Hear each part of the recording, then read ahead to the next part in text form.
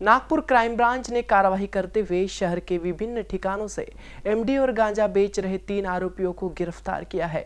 पहला मामला नंदनवन police station का है तो दूसरा मामला बेलतरोड़ी पुलिस स्टेशन की हद का है, जिसमें एक आरोपी फरार बताया जा रहा है। क्राइम ब्रांच की कार्यवाही पहले नंदनवन में हुई, जिसमें पुलिस को गुप्त सूचना मिली थी कि आरोपी नंदनवन परिसर में एमडी लेकर आ रहा है और बेचने वाला है।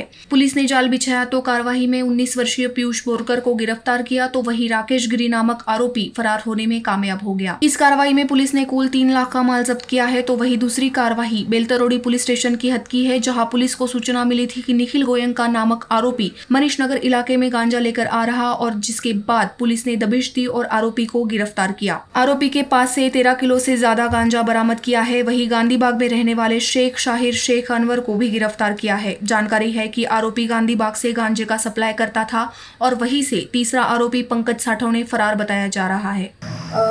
सामाजिक सुरक्षा विभागाची जो संपूर्ण विभाग आहे, त्याच्या दोन चमूक काल संध्याकाळी दोन पेट्रोलिंग करत असतात. त्यांच्यातील एका चमूकला एक पोलीस अंमलदार अजय पवनीकर याला एक माहिती मिळालेली होती.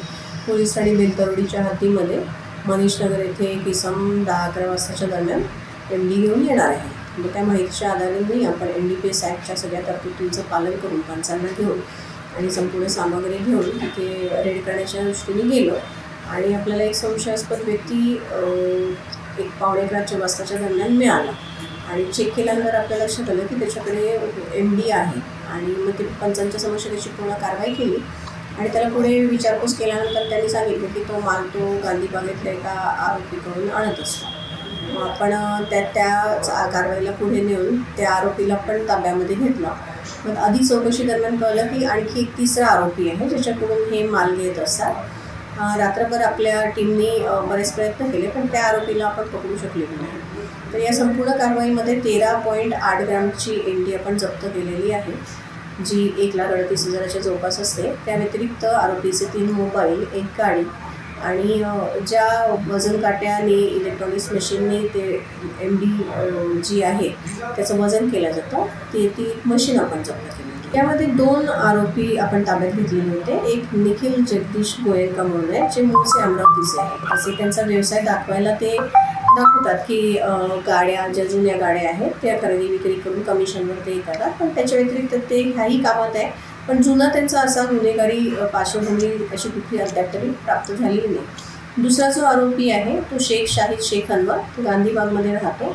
तर तो मजुरी करतो असं तो सांगतो. या व्यतिरिक्त या कामामध्ये असल्याचं म्हणजे आता बऱ्यापैकी निश्चित होतं आणि तिसरा जो आरोपी आहे पंकज साठवणे म्हणून तो गोमती हॉटेलच्या मागे पारडी भागामध्ये पुलिस अधिकारी ने लोगों से आह्वान किया है कि उनके पास ड्रग्स से संबंधित कोई भी जानकारी हो वह क्राइम ब्रांच से साझा कर सकते हैं। पुलिस उन पर कार्रवाई करेंगे। आपल्या माध्यमाने मी संपूर्ण नागपूर शहरातील जनतेला एक आवाहन करू इच्छिते. आमचे वरिष्ठ अधिकारी आणि सगळेच अधिकारी किंवा संपूर्ण समाजच या नशेच्या आहारी गेल्यामुळे आपलं एक जनरेशन त्याच्यामध्ये वाया जात आहे. तर सगळ्यांनी मिळून प्रयत्न केल्यास आपण यातून आपल्या समाजाला वाचवू शकतो आणि या दृष्टीने क्राईम ब्रांच सतत कार्यरत असते. कोणालाही अशी कुठलीही गांजा एम डी किंवा आणि कुठल्या अंमली पदार्थाच्या संदर्भातली कुठलीही माहिती असल्यास त्यांनी ती क्राईम ब्रांचमध्ये एन डी पी एस पथक किंवा एस एस बी पथक यांना द्यावी. आणि तशी गरज असल्यास त्यांना आम्ही आमचा फोन नंबर देतो nine eight two three six two double one seven three. शहर में ड्रग्स बेचने के मामलों में बढ़ोतरी हुई है। जरूरत है कि इन मामलों में कड़ी कार्रवाई होनी चाहिए। अखिलेश भारद्वाज के साथ प्रकाश शुंकलवार की रिपोर्ट।